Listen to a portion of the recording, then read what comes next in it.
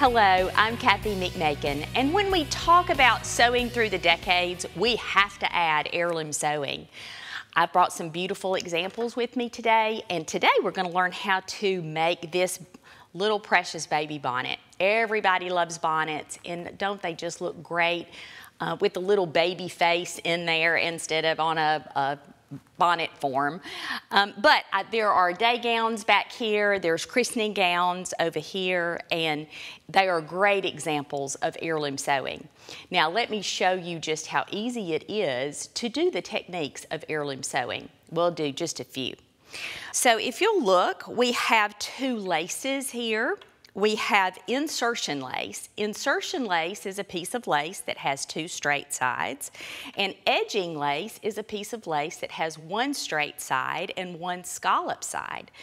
Um, so if you'll look, these straight edges of the lace are called headings, H-E-A-D-I-N-G-S. And that is um, the heavy threads that are running through the laces to create that straight border. There are two other pieces that we're going to use with our bonnet. Actually, we'll just use one piece, but I did want to introduce you to entredeaux. Entredeaux, entredux, entredure, entredure, which actually means between two, is this little piece here with the ladder running right down the middle of the fabric. Now, when we attach a piece of entredeaux, we are just going to see just the ladder when we are finished with this piece. So we can either use the ladder all by itself, in other words, trim away each side of that fabric, or sometimes we need that fabric to be included in our seam allowance. So that's a little bit about entredeaux.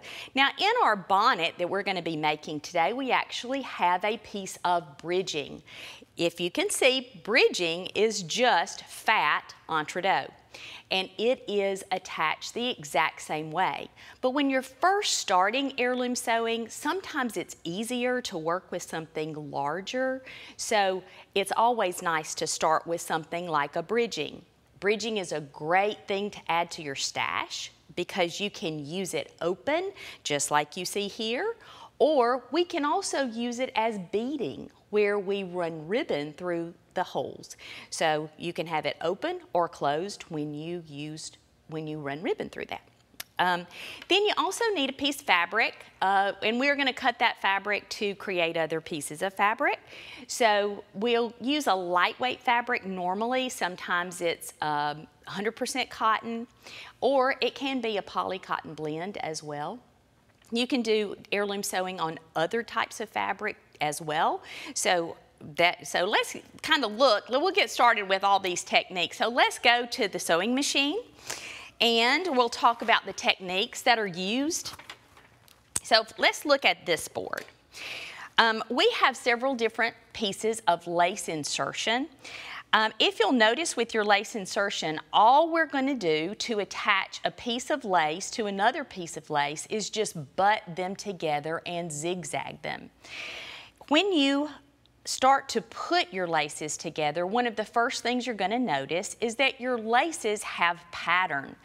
And you can either choose to alternate the patterns, match the patterns, or just pick up your lace however they end up and stitch them together. So let's look at this example. If you want to match your patterns, do you see how we have our, our flowers that are right across from each other? Um, or we could alternate them so that we have a flower and a flower and a flower and a flower zigzagging across the two pieces. Or if we just start and line them up cut edge to cut edge, that's gonna be more of a random selection. Which way is right?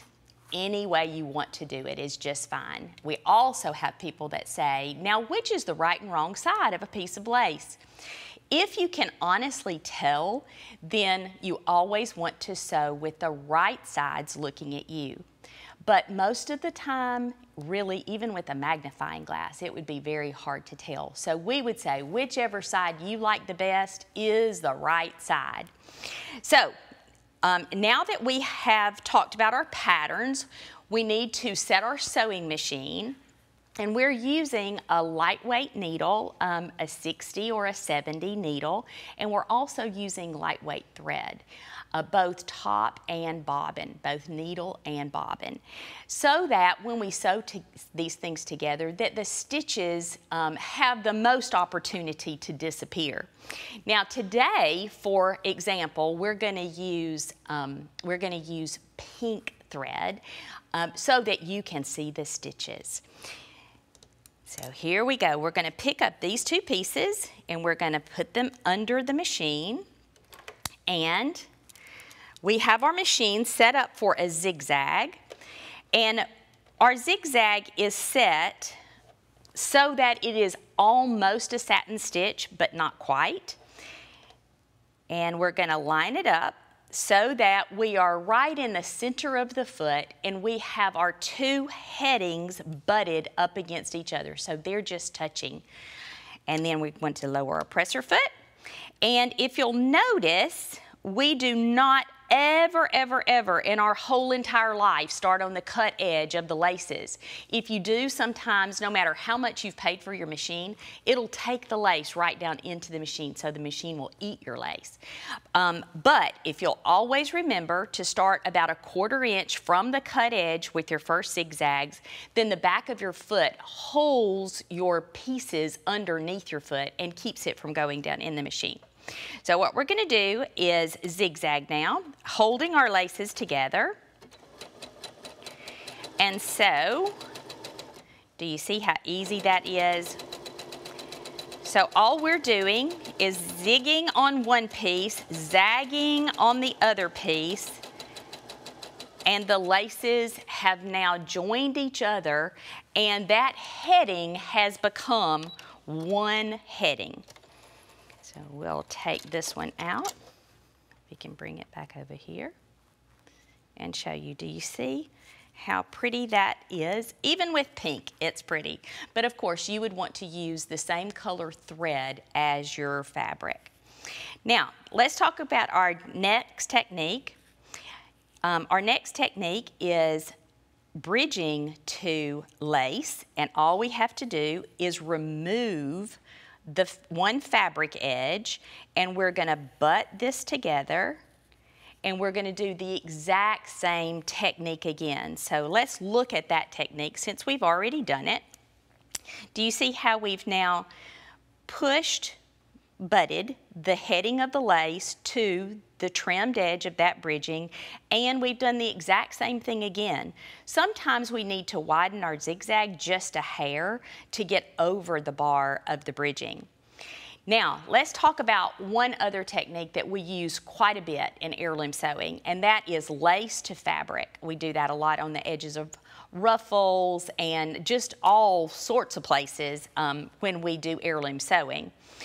And when we do this particular technique, what you're going to do is you're going to place your lace to your fabric like this, and you're going to zigzag off the edge and into the heading, off the edge and into the heading, off the edge and into the heading, so that when we complete this technique, we have rolled that little excess, that eighth of an inch that was extended, we have rolled that in using a zigzag.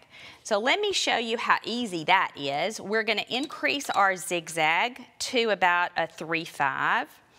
We're gonna stick it underneath the machine. So the heading of the lace is actually to the left of the center of our foot and the edge of the fabric is wherever it ends up when you um, have that eighth of an inch extension over there or 16th of an inch. You just have to have a tad over there.